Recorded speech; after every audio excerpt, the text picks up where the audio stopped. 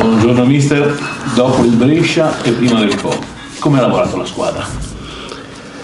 Hanno recuperato molto bene, c'è stata un po' di, diciamo, di piccola delusione dal fatto che non siamo riusciti a vincere la partita, però hanno compreso che siamo sulla strada giusta, abbiamo fatto un ottimo primo tempo e quindi dobbiamo proseguire su questo.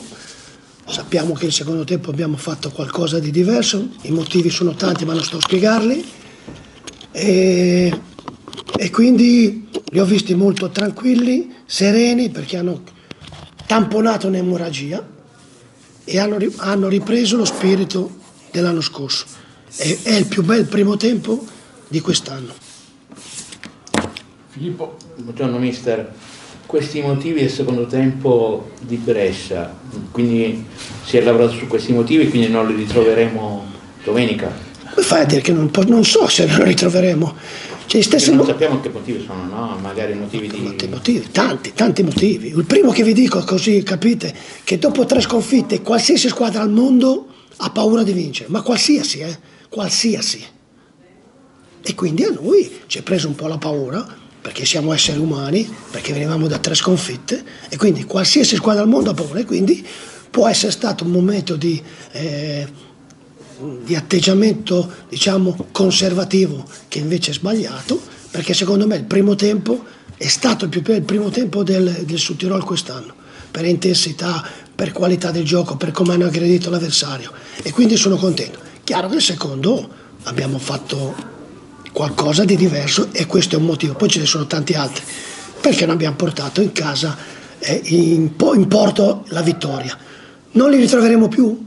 Non lo so, però sono convinto che la squadra ha riemboccato la strada giusta e quindi non devo cercare di cambiare meno possibile da quell'atteggiamento del primo tempo. Io ho ancora due domande, la prima sulla condizione degli infortunati, non recupera nessuno, se rimangono quelli o se ce ne qualcun altro? Eh, rimangono quelli, ancora si è fermato eh, Odogu dopo la partita, fatto, dato a fare ecografie, non lo so, attacchi, non lo so, non hanno trovato niente, ma lui sente dolore a questa parte dell'adduttore, ma si vede, non si allena, quindi si vede.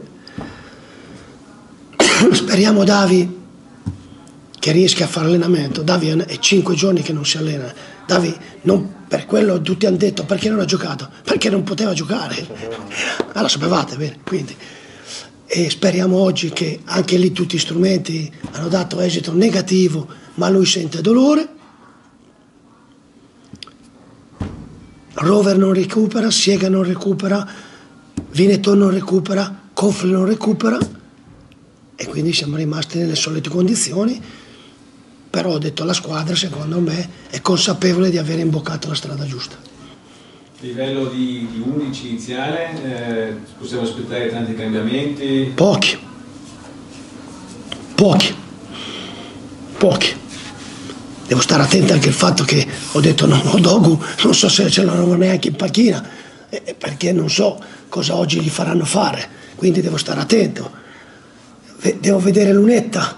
Eh, dopo una grande partita è uscito che anche lì la sfortuna quest'anno ha preso una piccola distorsione dove si era eh, operato.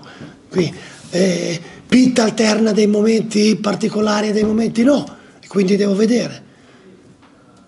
I, i tre, per me i, la difesa ha lavorato bene, tranne nella situazione, che poi vabbè, non solo la difesa, ha lavorato bene, quindi non credo a tanti stravolgimenti, non credo.